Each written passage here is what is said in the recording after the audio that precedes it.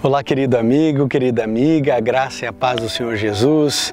Talvez seja a primeira vez que você esteja recebendo esse vídeo aqui. Primeira vez, né? Está chegando agora.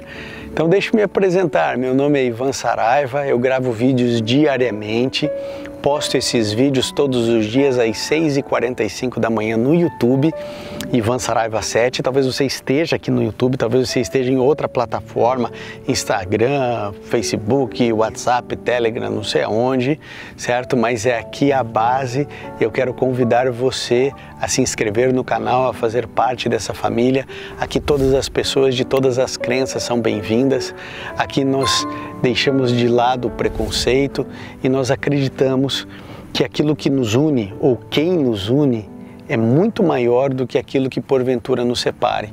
Então, a forma como nós pensamos pode ser diferente, mas se você ama Jesus, o seu lugar é aqui.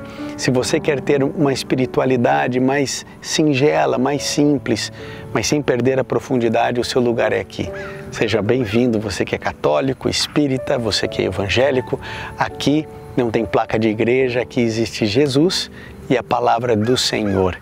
Tenha certeza de que Deus não vai te abandonar. Fique comigo até o final desse vídeo. Eu quero fazer uma oração por você, pela sua família e com você. O texto para reflexão está aqui no Salmo 9, no verso 10, que diz o seguinte: Os que conhecem o teu nome confiam em ti pois tu, Senhor, jamais abandonas os que te buscam. Eu quero chamar a atenção para o jamais. Jamais é nunca. Never. Como o pessoal diz, né? Jamais. Né? Jamais Deus vai abandonar você. Mas Ivan, eu sou um desgraçado de um pecador Bem-vindo ao clube. Eu também sou um desgraçado de um pecador. Ah, mas você não sabe o que eu fiz. Ué, você sabe o que eu fiz? Ah, mas a minha vida, ela é, eu só errei na minha vida, eu só fiz as pessoas que me amam sofrerem. Pois é, amigo. O evangelho é para você. Se você está triste, chateado com você mesmo, você está a um passo à frente de milhões de pessoas que acham que está tudo bem com elas, que elas são demais, que elas são uhul, maravilhosas, perfeitas. Sabe, tem gente que, que é, é, é tão pequena que ela oprime os outros com a vitória delas. Tem ideia do que é isso? Por exemplo, vou dar um exemplo aqui. Todos nós sabemos que o melhor regime alimentar é o vegetariano. É o melhor regime que tem. A gente sabe que quando a gente come carne, a carne fica em estado de putrefação 72 horas no nosso estômago até fazer digestão. Tem toxinas, a gente sabe que essas carnes aí estão todas cheias de hormônio, a gente sabe disso. Aí a pessoa, seja lá quem for, ela consegue dar um passo e ela consegue largar a carne. Mas ela é tão pequena que ela começa a oprimir aqueles que ainda não conseguiram vencer.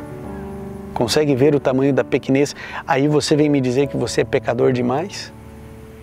Porque reconhece que não é ninguém? Quando a gente reconhece que a gente é pó, aí é que nós começamos a imaginar um futuro e uma esperança. Porque enquanto a pessoa acha que está tudo bem, como é que ela vai ser transformada? Tá tudo bem, tá tudo certo. Ah, ela vai para a igreja, não come carne, não faz isso, não faz aquilo. Ah, tá tudo bem. Então não tem espaço para transformação. Mas quando se apresenta qualquer pessoa como um pecador, um miserável, Deus vem e acolhe e abraça e diz: Eu sei que você é assim, filho, que bom que você é assim. Lembra-se da oração do publicano? Senhor, tem misericórdia de mim que sou pecador. Deus jamais abandona. Deus não abandona o soberbo, porque Deus quer transformar esse coração. O orgulhoso, Deus vai atrás, busca. Mas Deus também sabe da nossa pecaminosidade. Ele não vai nos abandonar. O texto é lindo, não sei se você sublinhou esse texto, no Salmo 9, verso 10: Os que conhecem o teu nome confiam em ti, pois tu, Senhor, jamais abandonas os que o buscam. Busque o Senhor no dia de hoje, não importa o teu nome, não importa o que você fez, busque o Senhor, Ele não vai te abandonar.